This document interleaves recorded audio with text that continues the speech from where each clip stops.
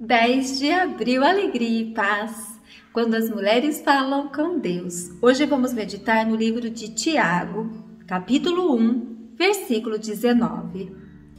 Sabei, meus caríssimos irmãos, que cada um deve ser pronto para ouvir, mas lento para falar e lento para se irritar.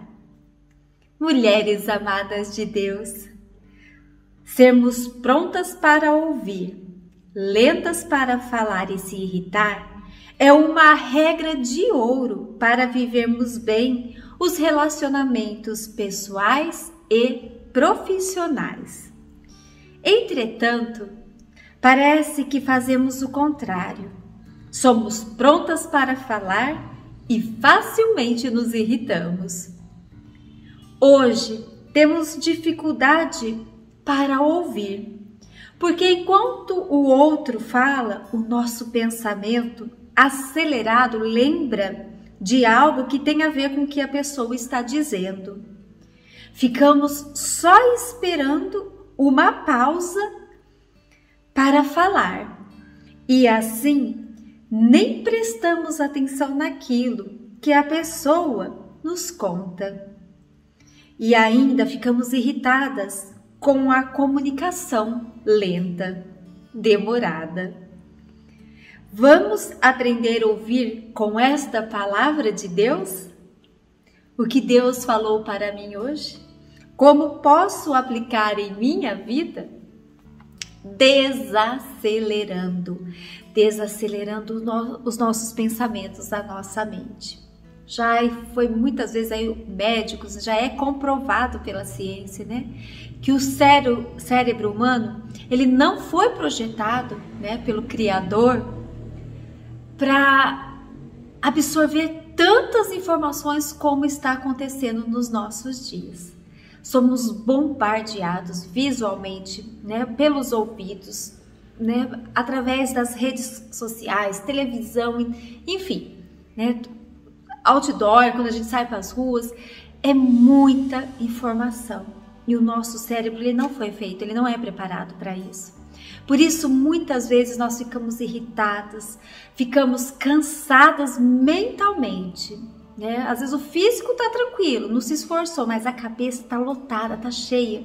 Então é dor de cabeça, né? fica ansiosa, fica assim, às vezes, muitas vezes até depressiva. Então é necessário desacelerar.